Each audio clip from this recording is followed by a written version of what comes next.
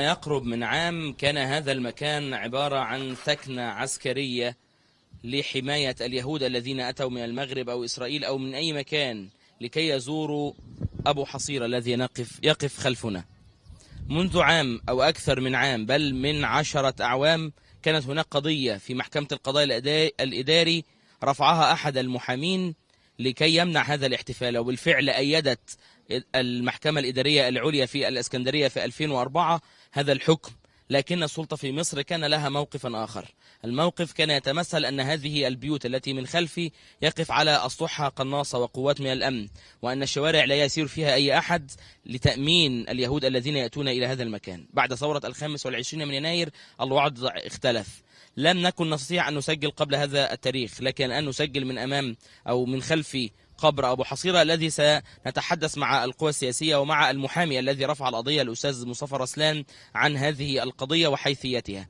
أيضا سنتحدث مع أهالي آه هذه القرية آه دماتيو. هي قرية في دمنهور في محافظة البحيرة. نتحدث إلى أهالي القرية عن كيف قضوا هذه الفترة وكيف كان يحدث ماذا كان يحدث داخل آه هذه القرية وقت أن يأتوا اليهود أو أتوا اليهود لهذه الزيارة. دعونا نبدأ من الأستاذ مصطفى رسلان المحامي صاحب القضية الشهيرة التي أخذ حكما في المحكمة الإدارية في 2001 وأيدته المحكمة الإدارية العليا في 2004 أهلا بك مصطفى. يا أهلا يا مرحب أستاذ مصطفى يعني أنا عايز الأول تقول لي شعورك كواحد من مصر من اهالي البحيرة وانت اليوم تقف في هذا المكان الذي كان ممنوعا أن يقف عليه أحد قبل هذا الموعد. والله هو شعور طيب طبعا لكن أنا وقفت أكثر من مرة في هذا المكان أيام الصلف والعنف الذي كانت تقوم به الأنظمة الحاكمة في مصر وسجلت في مخيلتي كل ما يحدث في أبو حصيرة. وفي عيد ميلاد أبو حصيرة. وهذا الأمر كان من أكثر من عشر سنوات. وبناء عليه أقيمت دعوة بمنع هذه الاحتفالات لأنها كانت تقام بصورة ماجنة وكان يأتي اليهود زرافات ووحدانا ووحدانا زي ما التعبير بيقول وكانوا يقيموا احتفالات على الأقل أو أقل القليل نقول أنها تتنافى مع العادات ومع التقاليد ومع الدين آه الإسلامي. آه أقيمت الدعوة آه بمنع هذه الاحتفالات على هذه الصورة. دعوة اللي حضرتك يعني تم بدء العمل فيها من إمتى؟ من سنة 96 من سنة 96 لكن أنا كنت بعزم أو عزمت على رفع هذه الدعوة منذ اتفاقية كامب ديفيد لأن بعد هذه الاتفاقية ابتدى اليهود يجوا ويقيموا احتفالات وكان تعاملهم مع الأهالي تعامل يعني بالطريقة اليهودية. يعني كانوا يجوا يشتروا ذبايح من الناس اللي موجودين في قرية دماتيو. وتذبح تلك الذبائح. بالطريقة ال ال اليهودية. آه. آه وطبعا الاحتفالات كانت بتشمل فتح قبر أبو حصيرة. فتح قبر أبو حصيرة ده كان حكاية. قبل قبل فتح القبر لو اتكلمنا عن البيوت اللي موجودة يعني حضرتك تتحرك معايا؟ آه. لو اتكلمنا عن مسافات البيوت ما بين القبر أبو حصيرة مسافات آه يعني قريبة, قريبة جدا. آه قريبة جدا. آه. قريبة جدا و طبعا السلطات اللي كانت موجودة قبل 25 يناير كانت بتضع فوق كل بيت من البيوت اللي قدام سعادتك دول أكثر من قناص على أساس حماية اليهود يعني. لكن ما كانوش محتاجين لأي حماية بالمرة. إن إحنا بطبيعتنا بنقبل تواجد أي إنسان طالما بيراعي التقاليد وبيراعي الدين الإسلامي. وما بنستهجنش إن أي حد يجي طالما هو ملتزم بما نحن آه، عليه من قيم. لكن هناك د- دعاوى يعني تم طرحها على شبكة التواصل الاجتماعي الإنترنت بدعوة إلى هدم الضريح وإلى يعني هدمه بشكل أو بآخر حتى لا يأتوا اليهود مرة أخرى إلى هنا. لا هدم أعتقد يعني إن هذه المسألة مش موجودة عند المصريين. إحنا لا يعنينا أبو حصيره مسلم يهودي مسيحي. هذه مسألة لا تعنينا بالمرة. لكن اللي يعنينا ويجي يخش بلدنا يحترمنا ويحترم تقاليدنا ويحترم عاداتنا. آه، أمهاتنا وجداتنا كانوا بيجوا ابو حصيره بيقولوا شموع. مش على أساس إنه يهودي آه، مبارك لا على أساس إن جرت آه، التقاليد على هذا الأمر. لكن حتى لما تبين بعد كده إنه هو مسلم وليس يهودي.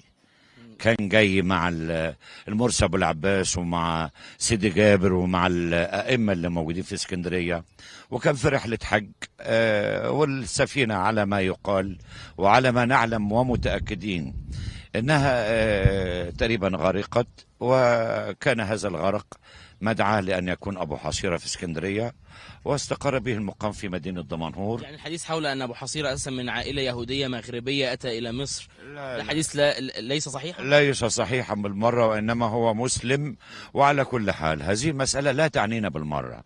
يهودي مسلم مسيحي هذه المسألة أنا زي ما بقول لحضرتك لا تعني المسلمين في شيء.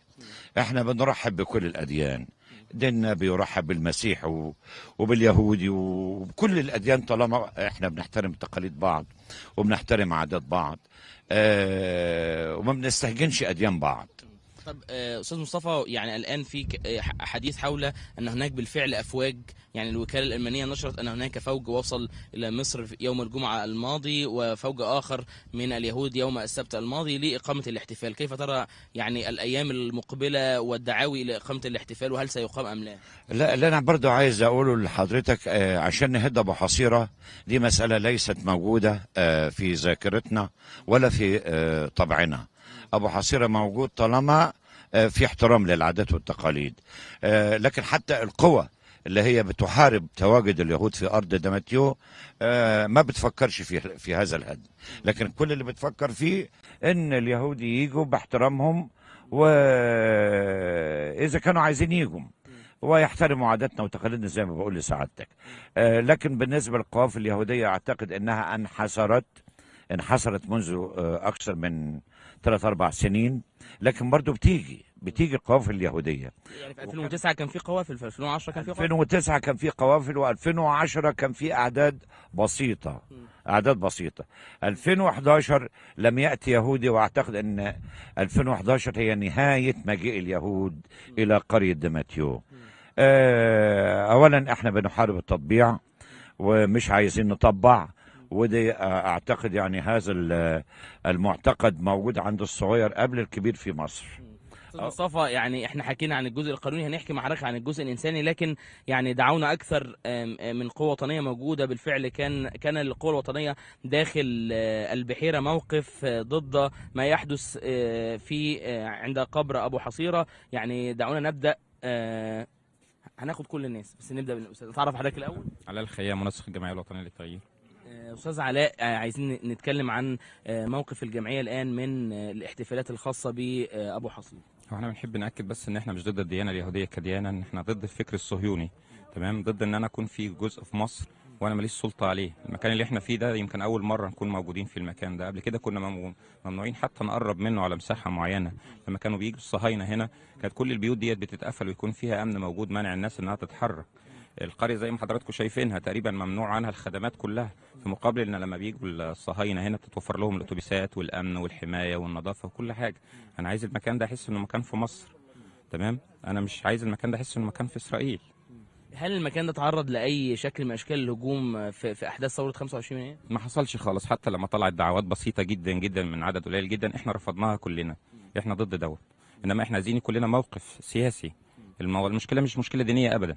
المشكلة ما بيننا وما بينهم مشكلة سياسية. المكان دوت كان مبارك عامله جزء من إسرائيل مش جزء من مصر. إحنا عايزين نحط عليه علم مصر مش عايزينه يكون تبع السيادة الإسرائيلية. طب ال- الحديث حول آه، يعني هننتقل لزميل آخر نتعرف عليه. تعرف عليك؟ دكتور عادل عطار منسق حركة كفاية. آه، آه، دكتور عايزين يعني حركة كفاية منذ نشأتها وهي ضد النظام المصري بشكل كبير. كان لكم موقف من النظام ومن تبعات النظام. آه، كنا عايزين نتكلم عن يعني أثر ما كان يحدث في فترة آه، الاحتفال بأبو حصيرة وهي كانت في السنوات الماضية سواء بعد كامب ديفيد لم تتوقف إلا في 2008 لما الغزو ال- الإسرائيلي حصل على غزة. كان أثر ده إيه على الأهالي وعليكم كحركة. في الأول لولا دماء الشهداء والمصابين ما كنا هنا. وما كان هذا الجمع الموجود. كان في بداية ديسمبر وبالخاص 20 ديسمبر تحاصر قرية تحاصر دمتيوب الكامل ويحاصر أبو حصيرة بالأخص.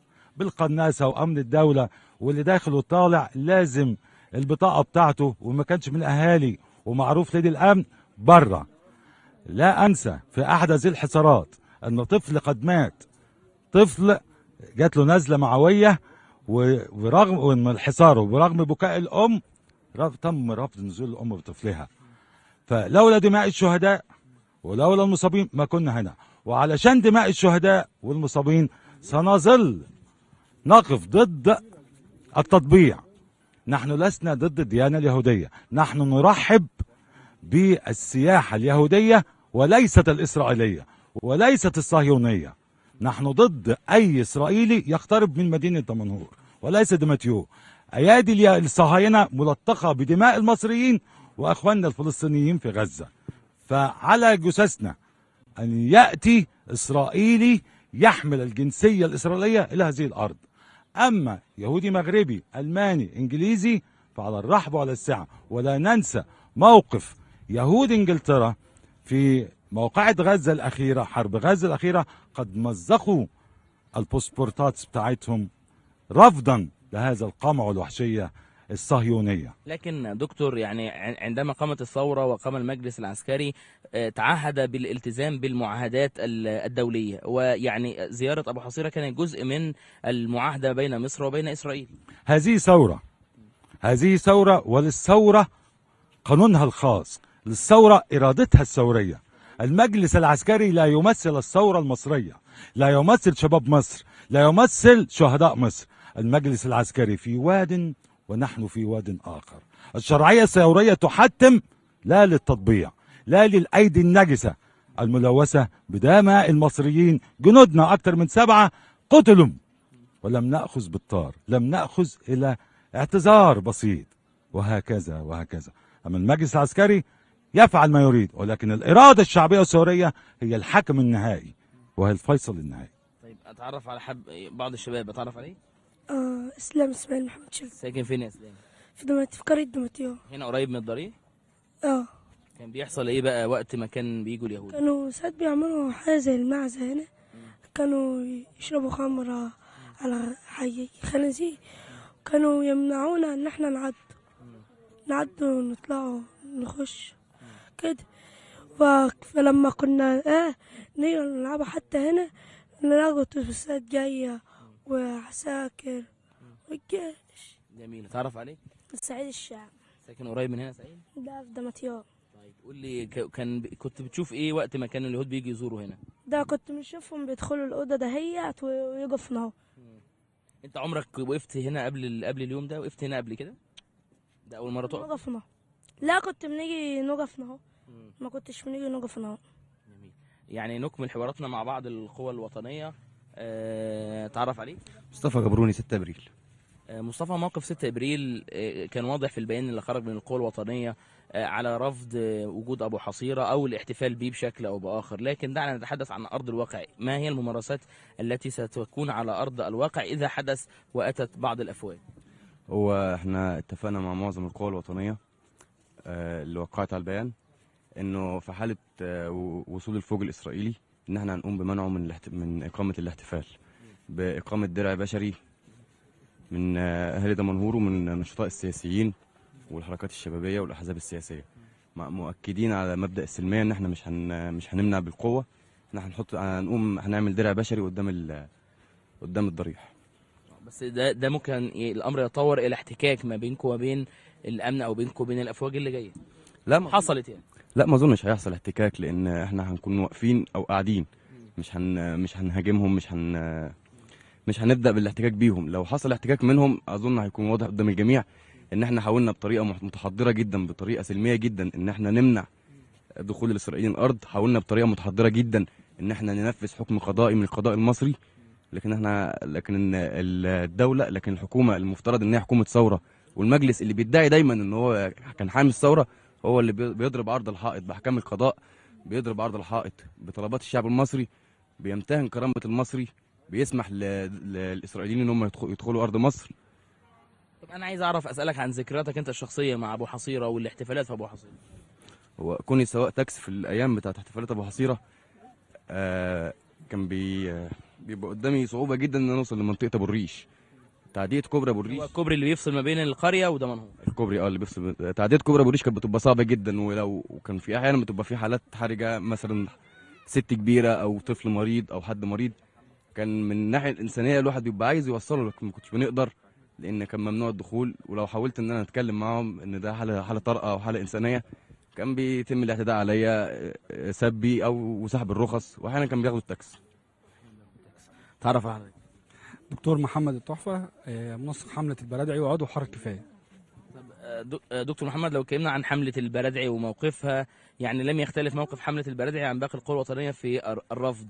لكن دعني أسألك عن هل قمتم بأي شيء أو أي أي فاعلية خاصة بالأهالي في في هذه القرية التي يكون فيها أبو حصيرة؟ هل دعمتهم بأي شكل من الأشكال؟ يعني عملتم على مستوى الوعي أو ماذا يعني؟ والله هي الحملة ما بتشتغلش بش- بشكل منفرد يعني إحنا شغالين مع القوى الوطنية لأن إحنا قبل ما نكون أعضاء في الحملة إحنا يعني يعني أفراد من القوى الوطنية في البحيرة. فهو من ضمن من قادة القوى الوطنية مش الحملة كلها إن إحنا نشتغل على القرية نفسها. لأن القرية واضح فيها اللي البنية التحتية كلها آه، يعني يعني مضروبة جدا بايظة جدا. الز- الزبالة الصرف الموقف. أنت لو دخلت وأنت داخل هتشاهد إن مشهد القرية مشهدها عامل إزاي؟ القرية البنية التحتية فيها سيئة جدا جدا. فهو كل ده من يعني بعد بداية الثورة ومن بعد الثورة بداية إن إحنا نحاول يكون في شغل مدني مش حكومي نبتدي في تطوير القريه ده هيبقى طبعا ليه دور في فهم مستوى القرية لأن القريه ما كانتش بتنقي أي اهتمام إلا في أيام المولد لدرجة إن في بعض ضعاف النفوس كانت بترحب بالمولد لأن بيقول لك ده بينضفوا لنا البلد. للأسف يعني ما هو أنت لما تربط له النظافه وتربط له إن شوية طبعا في ناس اللي بتتقيد بتتعذب لكن اللي مش مثلا على الأطراف ومش مقيد لما تربط له النظافه والاهتمام بالاحتفال طب أنت هتربط له احتفال شيء نفسي. وده شيء سيء طبعا إن أنا ما نض- ما انضفش بلدي غير لما يجي فيها الصهيوني ده الناس طيب دلوقتي في كلام نشر على الوكالة الألمانية إن في أكثر من فوج وصلوا مصر بالفعل يوم الجمعة ويوم السبت الماضيين وفي استعداد للاحتفال. هيكون موقفكم إيه في الفترة الجاية؟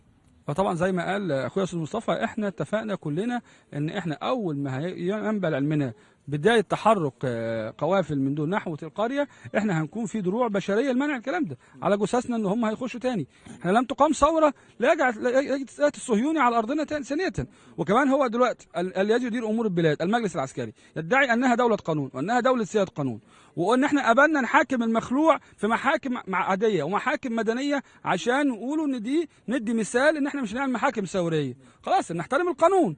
طب فين القانون تطبيق قانون حكم القضاء الإداري؟ بمنع الاحتفالات. إحنا هنحارب على قانوننا وهنحارب على ثورتنا بإيدينا.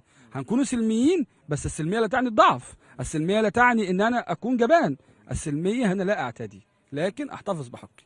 سنكون دروع بشرية عندنا مؤتمر صحفي بكرة في بيان أصدرت قوى القوى الوطنيه وكل ما يستجد من أفكار للمنع إحنا مستعدين ليه. شكرا ليك. تعرف دكتور أحمد نصار متحدث الإعلام بحزب الحرية والعداله محافظة البحيرة.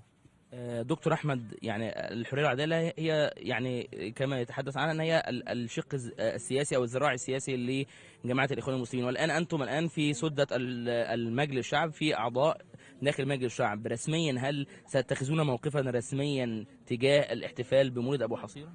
هو في البداية هذه ليست قضية حزب الحرية والعداله لوحده ولا جماعة الإخوان المسلمين لوحدهم. صحيح إن جماعة الإخوان المسلمين وقيادات وكوادر حزب الحرية والعداله دأبوا دائما على الوقوف أمام هذه المهازل التطبيعية.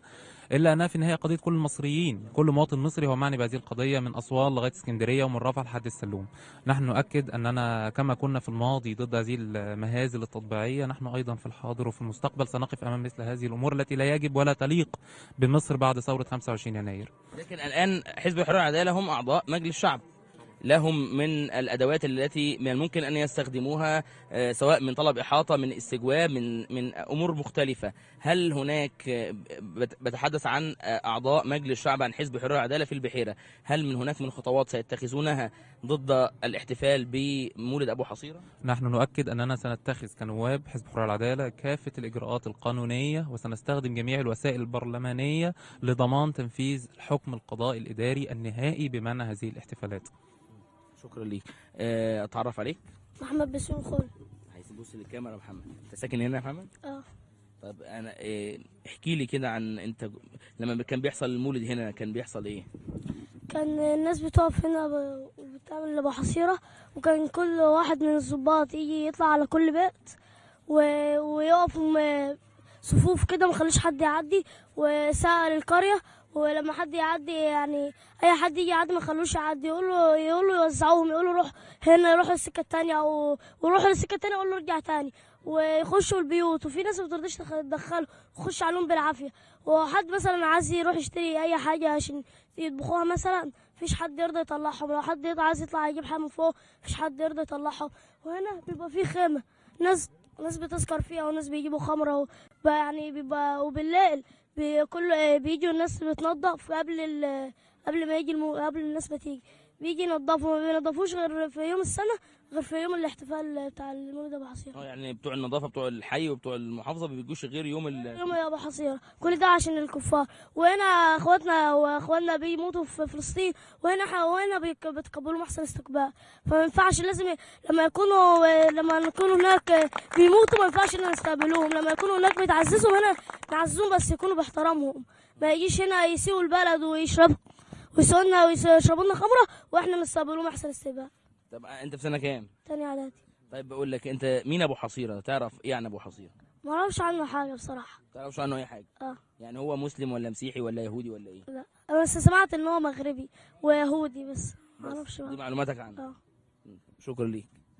تعرف عليك حسين الأباني منسق مدونين ضد أبو حصيرة. يعني حركة مدونون بدأت أظن في 2006 أو 2007 إيه، عايزين نتكلم عن إيه، جهد جهد الحركة قبل آه، الثورة. آه، كان بيركز على إيه بشكل أساسي وموقفها دلوقتي. إحنا بدأنا منذ عام 2007 كحركة تدوين آه، تدوين عام. آه، كنا بنستهدف آه، هدف رئيسي هو إنهاء آه، حالة الاحتلال الصهيوني لمدينة آه، دمنهور ومحافظة البحيرة. آه، بدأنا يعني شايف موضوع الاحتلال ده كلمة كبيرة شوية. آه، عندما عندما آه، تغتصب إرادة الشعب عندما يمتهن تمتهن كرامة المواطن عندما تنتهك سيادة الوطن هذه مفردات لعنوان كبير اسمه الاحتلال. ليس المعنى هو احتلال عسكري ولكن كان احتلال سياسي آه، ومفردات كثيرة لمعنى الاحتلال. آه، تحركنا عبر حركات تدوين وأصدرنا عشرات ال- البيانات وأقمنا عدد من الف- الفعاليات وطلبنا آنذاك البرلمان برلمان البرلمان في عام 2010 وما قبله أن يصدر أن يصدر قرار حاسم في شأن أ- أبو حصيرة.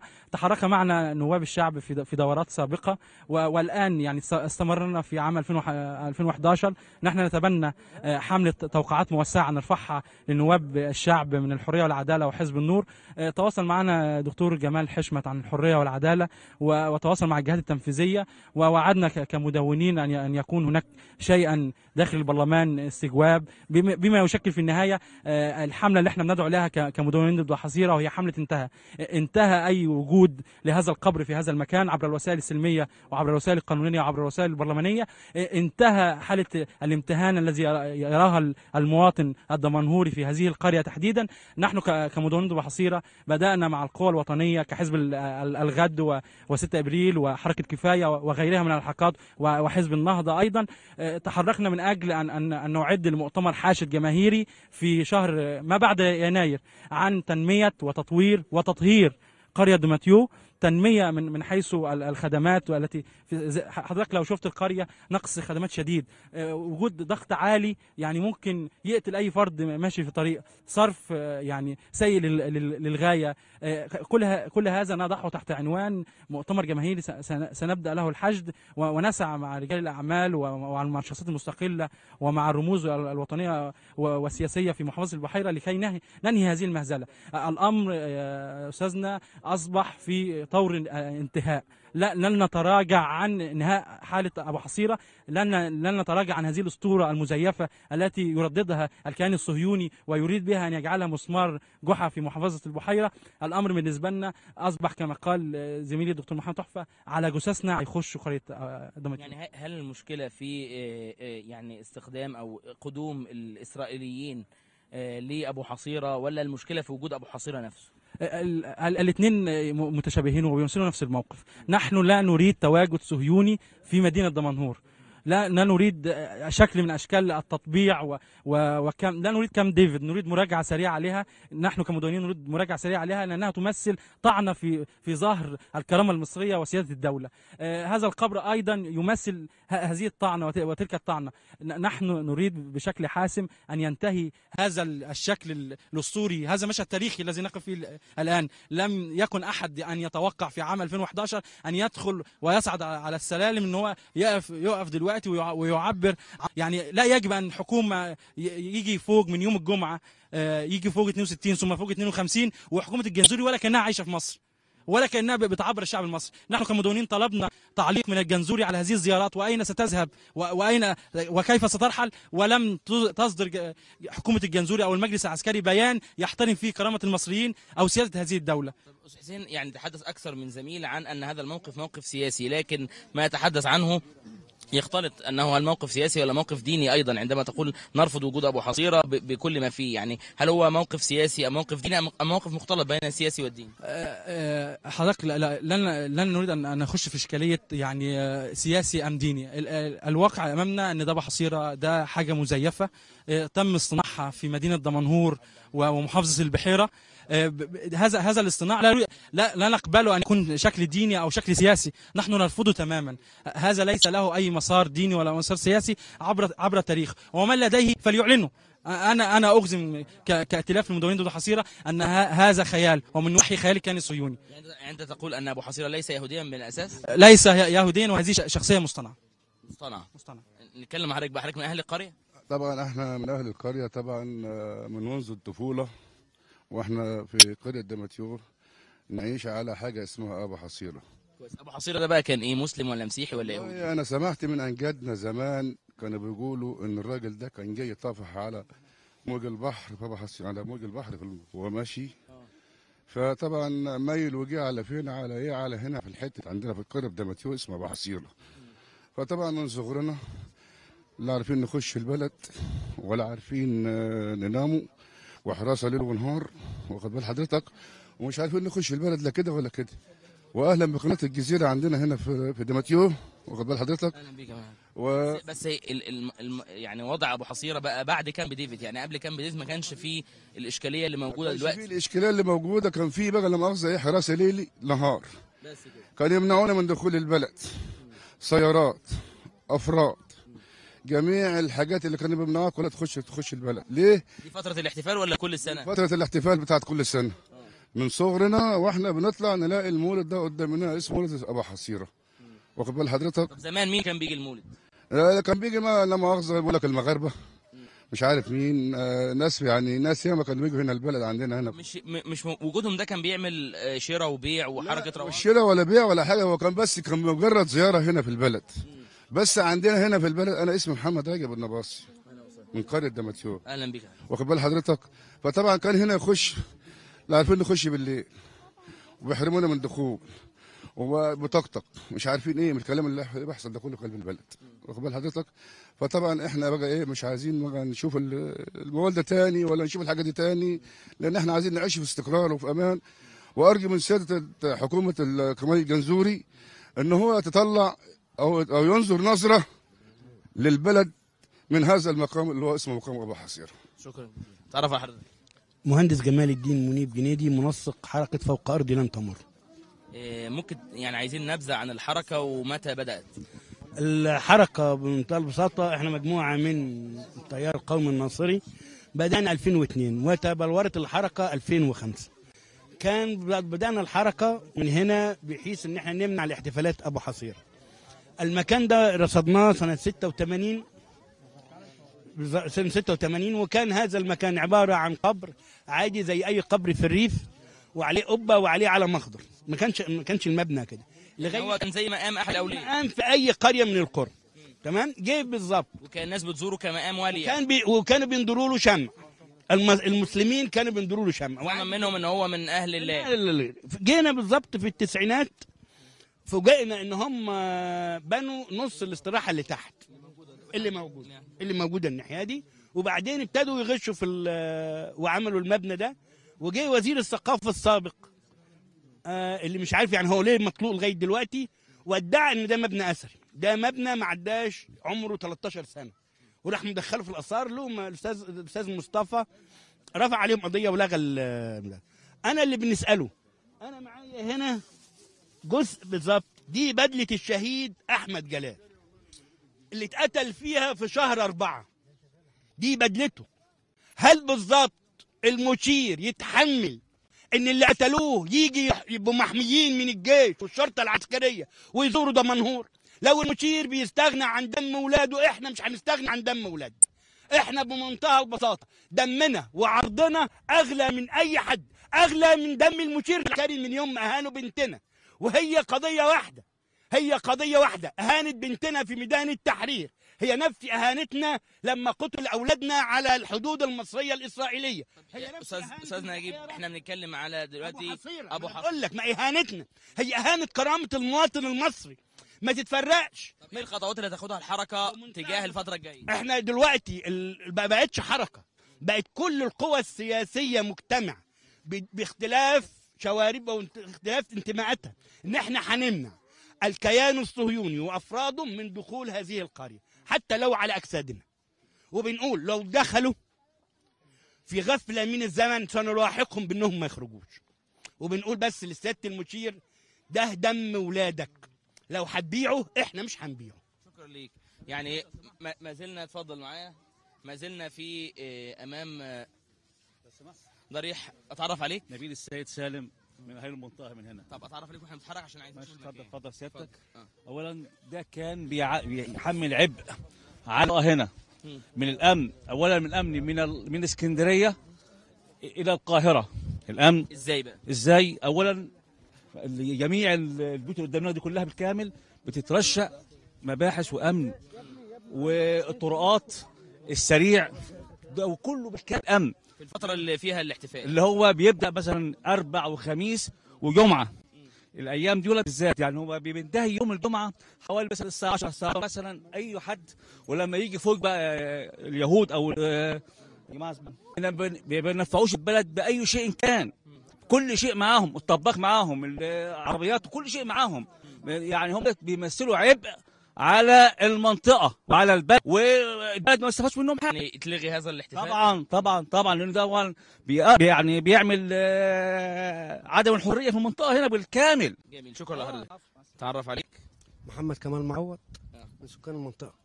عايزين آه، يعني تقول لنا عن الاحتفال واللي كان بيحصل في الاحتفال وأنت كواحد من أهل المنطقة كنت عايش إزاي في الفترة حوالي مثلا الساعة 10 ساعه مثلا أي حد ولما يجي فوق بقى آه، اليهود أو آه، ما بينفعوش البلد بأي شيء كان.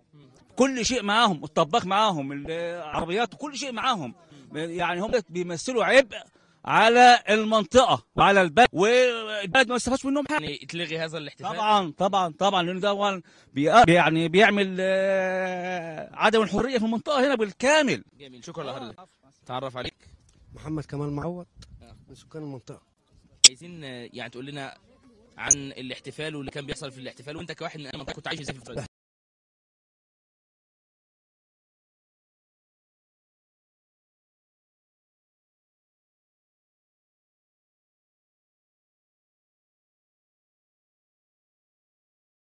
بيمثلوا عبء على المنطقة وعلى البلد. والبلد ما استفادش منهم حاجة. يعني تلغي هذا الاحتفال؟ طبعا طبعا طبعا. لأن ده هو بي- يعني بيعمل آه، عدم الحرية في المنطقة هنا بالكامل. جميل. شكرا لحضرتك تعرف عليك. محمد كمال معوض من سكان المنطقة. عايزين آه، يعني تقول لنا عن الاحتفال واللي كان بيحصل في الاحتفال. وأنت كواحد من أهل المنطقة كنت عايش إزاي في الفترة دي